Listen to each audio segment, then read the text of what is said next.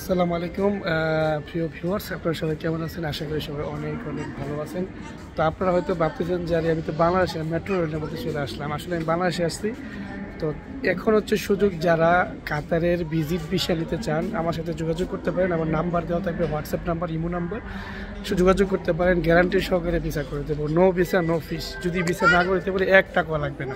ঠিক আছে, কাতারের ভিসা অনেকে এজেন্সি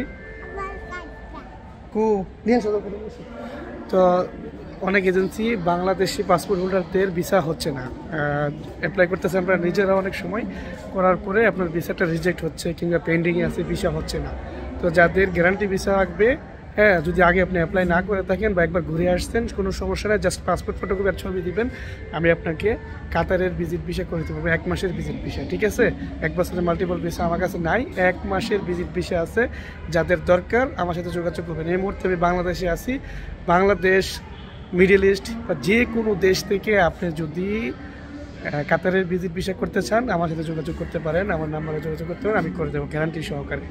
হ্যাঁ প্রথমেই বলে রাখি, যারা একবার অ্যাপ্লাই করছেন পেন্ডিংয়ে আছে রিজেক্ট হয় না এখনও তারা যোগাযোগ করলে কাল লাভ হবে না।